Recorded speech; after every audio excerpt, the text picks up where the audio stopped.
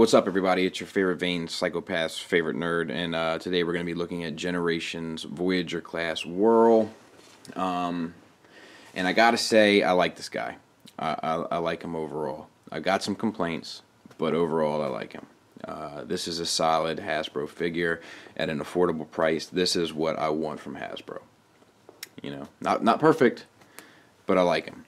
Um, I'll get into a, a, little bit of that uh, later. Um, but I like him. I kind of feel like, just to, to touch on it briefly, I kind of feel like Whirl is one of the coolest characters in IDW. Um, Hasbro has been doing a lot of IDW esque characters, and pardon me, this was their chance to cash in on a really cool IDW character. And instead, they went for the G1 look. Now, I like the G1 look. Don't get me wrong, but you know, this was, you know, this is people care about Whirl because of IDW. Let's be honest. Stop fooling yourself, whether you like IDW or not. Let's be honest. So, uh, let's take a look at articulation.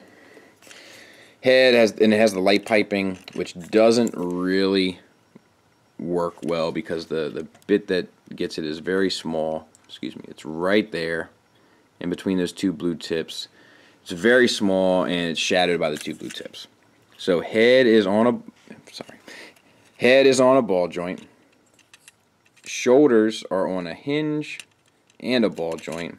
Um, and uh, you know, there's different ways you can kind of position yours to get a more imposing look or whatever. Um, so that's cool. Uh, double jointed elbows, which is nice. Uh, the hands don't really do much, but they do open and then close, and they're they're on uh, these like gears right here, so they will like they almost you know like they they're they're pretty cool. Um, I haven't put the stickers on yet. I haven't decided what I'm going to do with them. Um, I have a theory about the stickers, but I'll get into that in a second. Um, no waist articulation. Hips are on a universal joint. Uh, knees bend backward. So it kind of has the chicken leg bit, which is IDW-esque. Um, but it's not IDW, right? Okay, I'm, I'm just trying to keep it all together. And then nothing for the ankles, really. Um, they have these spurs here, and we'll talk a little bit about that at the end. There's there's a lot to talk about with this guy. Let me comment on the stickers.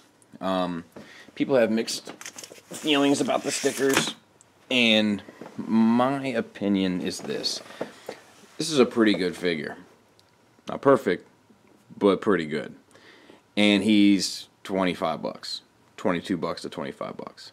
Um, unless you got him from some online retail, retailer that, that, that took advantage of you. It's 20, 22 to 25 bucks.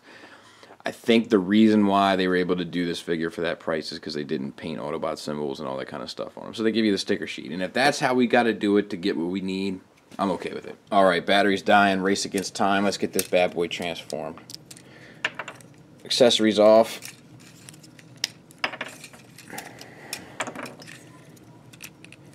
Skis, you flip the blue part back, it unlocks it, and then you slide them up. Slide them up. And arms, these are geared, which is pretty cool engineering wise. So they collapse and then they peg onto themselves. That's what the double joint is for. Collapse, rotate the bicep, um, and then collapse onto itself. Um, not that it's a tricky part, but just the, the part that takes a little bit more of an effort is this whole piece, this whole, let me try to get it a little bit more. This whole back piece comes up. The tail, you gotta un peg these and then the tail will come out and down giving you the clearance to gear these two together at which point they snap in there peg in there and then the shoulders tab in here. It's just a matter of getting it to spin right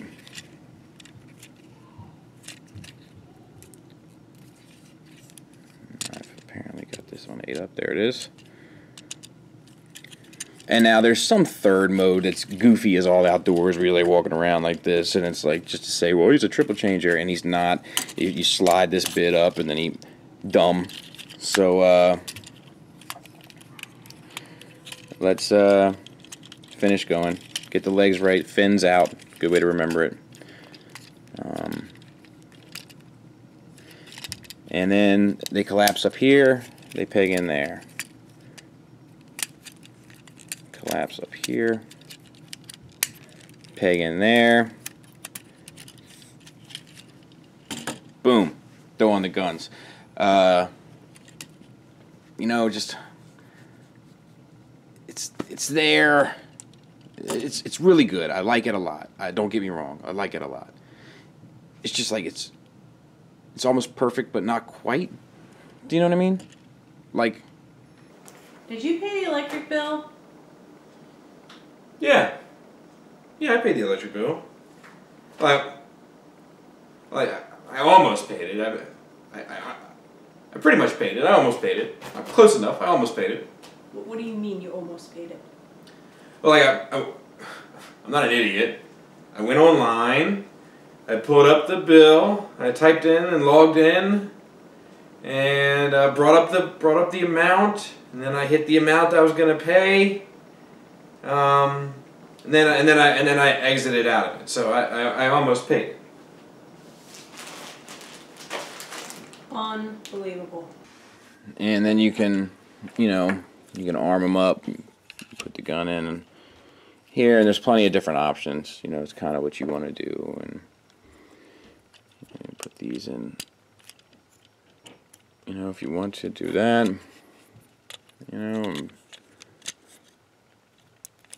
you know, if you want to do that, you can also clip stuff onto the side. You know, there's there's plenty of stuff. Plenty of stuff you can do. Um, you know, it's just kind of in how you want to do it. So, yeah, pretty cool.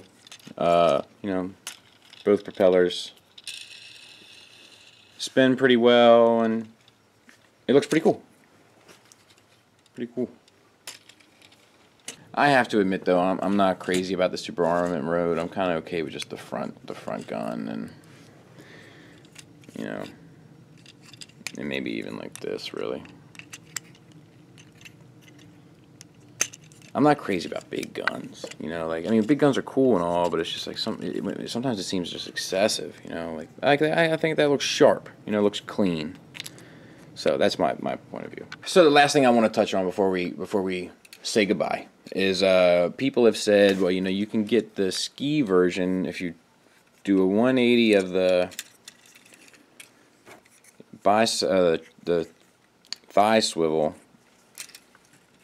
and then he can, you know, and then he has a more of a forward knee and his skis. Like, are these skis? I'm not sure, but uh, you know, I, I get that. That's that's not hateful.